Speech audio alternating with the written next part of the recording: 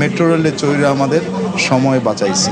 একটি বন্ধন, সেতু বন্ধন হলো, বিশেষ করে উত্তর থেকে দক্ষিণ এবং দক্ষিণ থেকে উত্তরে। আমরা যারা উত্তরে যারা থাকি, দক্ষিণে যেতে কিন্তু ট্রাফিক জ্যাম কিন্তু অনেক বেশি। আর সেই ট্রাফিক জ্যাম এমন মাত্র শেষ হয়ে যাবে আঠেরো মিনিটে। এবং দক্ষিণ থেকে উত্তরে যারা আসবে, এটা কি বিরাট বড় সেতু বন্ধন? এবং বিশেষ করে আমাদের যে ঢাকা শহরে যে ট্রাফিক জ্যাম যেটা আছে, এটা একাংশ কিন্তু এখন ট্রেন দিয়ে চলে আসছে। এবং মতিঝিলে কিন্তু অনেক ধরনের অফিস কিন্তু আছে।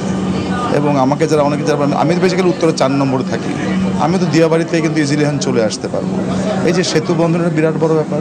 আর একটা কিন্তু গান ছিল আগে। ঢাকা শহর আইসা আমার পরাণ জোড়াইছে। লাল লাল, নীল নীল বাতি দেখে আশা জোড়াইছে।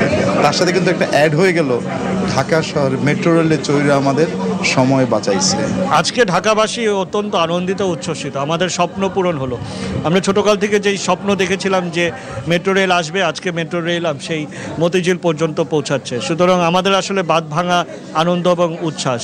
এবং মতিঝিল হলো ঢাকার বাণিজ্যিক প্রাণকেন্দ্র। সেই মতিঝিল সাথে সংযোগ হওয়াটা এটা মানে পুরো পরিপূর্ণতা পেল আজকে। একজন উত্তরা থেকে, সেই উত্তর থেকে আমাদের শহরটা দক্ষিণ এবং উত্তরমুখী।